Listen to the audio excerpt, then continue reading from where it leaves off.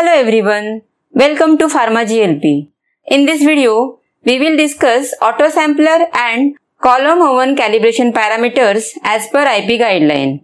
For calibration of autosampler, the parameters are injection volume accuracy, injection volume precision, injection volume linearity, and autosampler temperature accuracy.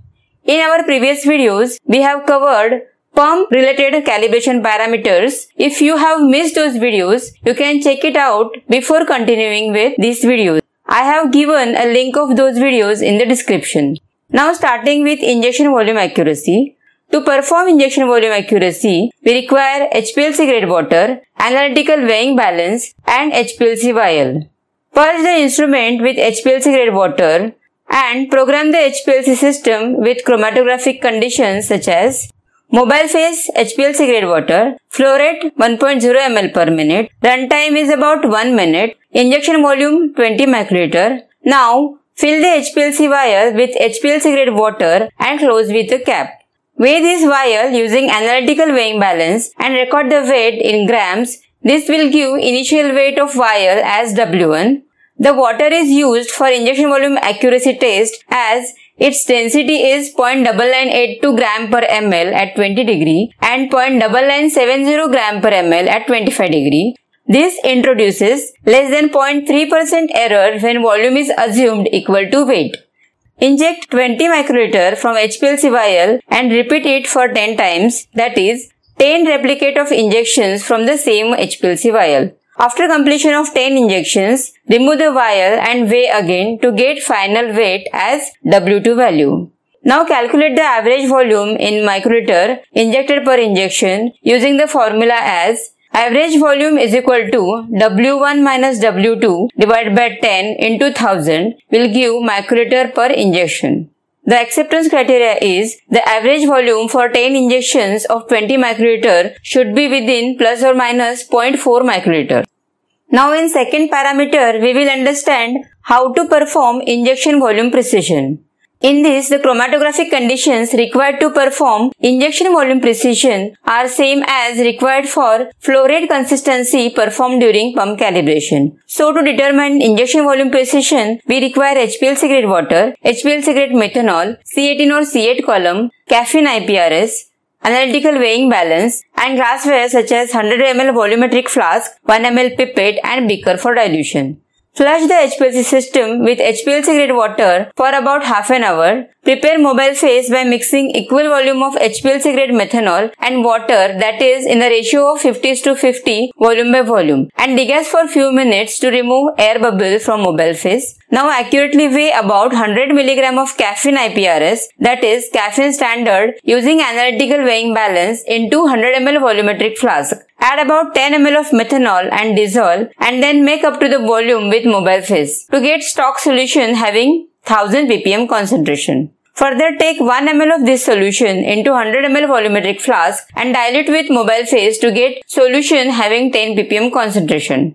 After that, set the HPLC system using chromatographic conditions such as mobile phase, methanol and water in 50 to 50 ratio. Column is C18 or C8 having 250 mm length, 4.6 mm inner diameter and 5 micron particle size.